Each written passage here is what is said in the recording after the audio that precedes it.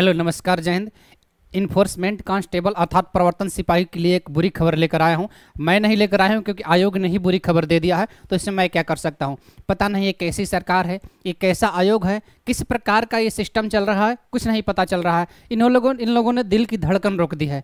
अब पता नहीं क्या होगा, आगे क्या होगा। इतने मेहनत से हम लोगों ने महीनों से, डेढ़ महीना से हम लोग तैयारी कर रहे हैं। सुबह ग्यारह बजे हम लोग बैच चलाते हैं। ग्यारह बजे से बारह बजे तक जो है कि हम लोग बढ़िया से पढ़ते हैं। शाम को दस बजे से प्रैक्टिस करते हैं। दस बजे से साढ़े ग्यारह बजे तक प्रैक्टिस करते हैं, डेढ़ घंटा। इतना मेहनत करने के बाद हम लोग और आगे अब पता चला कि इन्होंने भर्ती को रद्द कर दिया। भर्ती कैंसिल हो गई। अभी अभी नोटिफिकेशन आया है ऑफिशियल नोटिफिकेशन आयोग की तरफ़ से कि भर्ती कैंसिल हो गई। ये भर्ती अब दोबारा अक्टूबर महीने में कराई जाएगी, नवंबर महीने में कराई जाएगी। इसके लिए फिर से ऑनलाइन आवेदन आएगा। हालाँकि जो अभ्यर्थी पहले से पहले से शार्ट लिस्टेड हैं, उनके लिए एक राहत भरी खबर यह है कि उनको बाहर नहीं किया जा आउट नहीं किया जाएगा। लेकिन क्या इतना ही काफ़ी है? क्या इतना ही काफ़ी है? नए भर्ती इसी भर्ती को 2023 के पेट वालों को भी इसमें शामिल कर दिया गया है और 22 के जो पेट वाले शर्ट लिस्टेड होंगे, उनको भी ले लिया जाएगा। ऐसा इनका आयोग का नोटिफिकेशन आया है अभी अभी ऑफिशियल नोटिफिकेशन इन्होंने जारी कर दिया है। लेकिन क्या इतना ही काफ़ी है?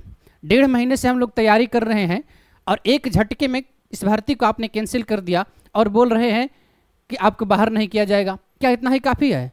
अब हम लोग इस बात से रुकने वाले नहीं हैं। और इन्होंने देखिए, आगे देखिए, इसके बारे में बताते हैं। इससे पहले आप वीडियो को लाइक कर दीजिएगा और वीडियो को अधिक से अधिक शेयर कर दीजिए। आगे बढ़ने से पहले पहले शेयर कीजिए ताकि सबको पता चले, सबको जुड़ पाए और हम लोग सभी टीचर्स और सभी स्टूडेंट्स मिलकर एक बड़ी क्रांति करेंगे। हम लोग अब थमने वाले हैं नहीं। इतना हम लोग बर्दाश्त नहीं कर सकते आयोग का और सरकार की। आगे देखते हैं, देखिए क्या हुआ। अब देखिए, Uttar Pradesh subordinate service selection commission UP triple S है। इसके बारे में पहले आपको बता दूँ। आपको याद दिला दूँ कि चार एग्ज़ाम 2023 जो नोटिफिकेशन है, विज्ञापन संख्या है, मैं उसी के बारे में बात कर रहा हूँ, जो एक सात 2023 को 18 से 25 साल एज लिमिट मांगी गई थी, जो चार सौ सतहत्तर फोर सेवन सेवन पोस्ट के लिए भर्ती थी, हम उसी के बारे में बात कर रहे हैं। जिसके लिए एप्लीकेशन बिगिन सात सात 2023 से और लास्ट डेट अट्ठाईस सात 2023 को हुई थी। फ़ी पेमेंट करने की लास्ट डेट अट्ठाईस सात 2023 थी और करेक्शन का लास्ट डेट चार आठ 2023 था। सिलेबस अवेलेबल कराया गया था बारह दस 2023 को, और एलिजिबिलिटी रिज़ल्ट अवेलेबल हुआ था छः दो 2024 को, यानी कि 6 फरवरी को शार्ट लिस्ट कर दिया गया था। और जो शार्ट लिस्ट हुए थे, उसके बाद से हम लोगों ने बीस बाईस फरवरी से अपना बैच स्टार्ट किया था। उसके बाद हम लोग खुद, अभी बैच चलता है, ग्यारह बज चलता है। और शाम को दस बजे से साढ़े ग्यारह बजे तक प्रैक्टिस चलती है। आप लोग खूब जानते हैं, अच्छी तरह जानते हैं। हम लोग करते हैं, सभी लोग मिलकर करते हैं। लेकिन अब इन लोगों का मानसिकता बदल गई है। अब इन लोग, जिसके लिए अप्लीकेशन फ़ीस प्री के लिए, जनरल ओबीसी ईडब्ल्यूएस से 25 एस सी से 25 और पीएस से 25 सबसे पच्चीस रुपये की पेमेंट भी कराई गई थी और मेंस एग्ज़ाम फ़ीस के लिए पेमेंट करने का डेट था। हमने, कभी बच्चों ने मेंस एग्ज़ाम फ़ीस के लिए पेमेंट के डेट के बारे में भी काफ़ी बार बार पूछताछ कर रहे थे। हमने सबको बताया था कि जब एग्ज़ाम डेट आ जाएगा डिक्लेयर हो जाएगा एग्ज़ाम डेट घोषित हो जाएगा, उसी दिन से पेमेंट का लिंक ओपन हो जाएगा और एग्ज़ाम डेट के दो तीन दिन पहले तक पेमेंट होगा तो पेमेंट के बारे में समस्या है नहीं, यही होता है। आगे देखते हैं देखिए इसके बारे में क्या इन्होंने भेजा है। डिटेल्स हमने बताया, चार सौ सतहत्तर पोस्ट के लिए वैकेंसी थी, जो U P triple S C PET 2022 के स्कोर कार्ड पर आधारित थी 2022 के पेट पर। जो 10 प्लस टी इंटरमीडिएट एग्ज़ाम इनकी एलिजिबिलिटी थी। अब इसकी हाइट जो है कि बात करें तो एक सौ अड़सठ सेंटीमीटर एस टी के लिए एक सौ साठ सेंटीमीटर फीमेल में एक सौ बावन सेंटीमीटर और एस टी के लिए एस टी फीमेल के लिए एक सौ सैंतालीस सेंटीमीटर चेस्ट मेल के लिए केवल लागू होता है सेवेंटी नाइन से एट्टी फोर सेंटीमीटर या एसटी के लिए सतहत्तर से बयासी सेंटीमीटर रनिंग भी इसमें थी मेल के चार point five four point eight kilometre सत्ताईस मिनट में और फीमेल के लिए टू पॉइंट फोर किलोमीटर सोलह मिनट में।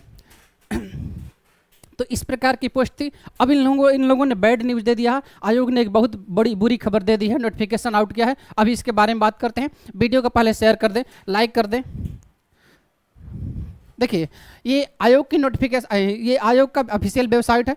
ऑफिशियल वेबसाइट पर आप जाकर इस नोटिफिकेशन को पढ़ सकते हैं। इस नोटिफिकेशन को देख सकते हैं। अभी अभी जस्ट कुछ ही समय पहले नोटिफिकेशन आया है। तो इसको आप जाकर देख भी सकते हैं। और नहीं तो इंग्लिश में इन्होंने नोटिफिकेशन दे दिया है। उन्हें लगता है कि बच्चे और टीचर्स बेवकूफ़ हैं, इंग्लिश नहीं पढ़ पाते। अरे, हम लोग इंग्लिश पढ़ पाते हैं। इज़ एम आर सब कुछ पढ़ लेते हैं हम लोग। वाजवेयर तो इसलिए नहीं पढ़ते हैं कि भूतकाल में भरोसा नहीं करते हम लोग। इसलिए वाजवेयर नहीं पढ़ पाते हैं। बाकी हम लोगों को ऐसा नहीं कि इंग्लिश नहीं आती है। इंग्लिश में नोटिफिकेशन देकर आप क्या प्रूफ करना चाहते हैं? इसको भर्ती को कैंसिल कर देंगे। संभव नहीं। आपके बस की नहीं भर्ती को कैंसिल कर देना। हम सभी टीचर्स और सभी स्टूडेंट्स मिलकर आंदोलन कर देंगे, आंदोलन खड़ा करेंगे। इस नोटिफिकेशन को हम लोग बिल्कुल नहीं मानते नहीं मानते हैं। आप एक नहीं, पचास नोटिफिकेशन जारी कर दीजिए, हम लोग मानने वाले हैं नहीं। और इस पर नोटिफिकेशन को हम लोग मान, मानते ही नहीं हैं। मानते नहीं कि आपका नोटिफिकेशन है। नहीं मानेंगे, बिल्कुल नहीं मानेंगे। जो करना है कर लीजिए। हैप्पी अप्रैल फुल डे बुरा ना मानिएगा। अप्रैल फुल डे है। सभी को happy April fool day video को लाइक कर दीजिएगा। चैनल को सब्सक्राइब कर दीजिएगा अगर नहीं किए होंगे तो। वीडियो को शेयर भी कर दीजिएगा बहुत बहुत धन्यवाद